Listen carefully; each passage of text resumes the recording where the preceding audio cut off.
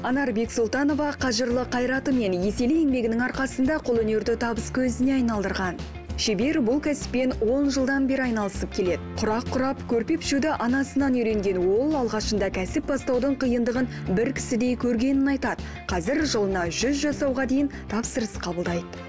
бір аяғым педальды басып тұрса бір аяғымдағы саусақтармен мен мысалы мына маталарды біріктіру арқылы солай жұмыс жасаймын да мен жасай алған дүниені қалай ол басқа адам екі қолы бар екі аяғы бар адам жасай алмайды ол санада ғой барлық нәрсе ол аяқта да емес қолда да емес оның бәрі санада.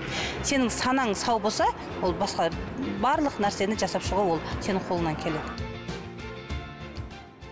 Шебердің мақсаты ұлттық өнерді насихаттау, тұрмыстық өмірде кеңінен қолданылып, уақыт өте келе ұмыт болып бара жатқан бұйымдарды жаңғырту жолында әрекет етіп жүр. тараз қаласында өткен үлкен қолөнершілер фестивалі болды иә әлемдік фестиваль. Бізге жаңағы әлемдік ассоциацияның адамдары келді. Ә, әлем бойынша қолөнершілер келіп қазір екі жыл болды бізде ә, көрме өтіп жатыр. Осы кейінгі көрмесіне кәдімгі қолданыстан алынып тасталынған ұмыт болып бара жатқан түскиізді енгіздік.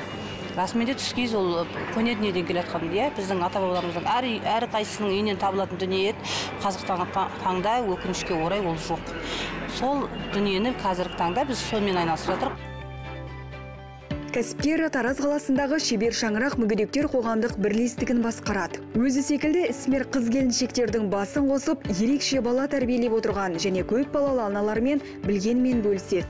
Алты айлық курста тігін тігудің қыр сырын үйреніп жүрген нәзік жандылар саны қырықтан асады. Ол кісілер қолөнердің бір 5-6 түрін үйренді.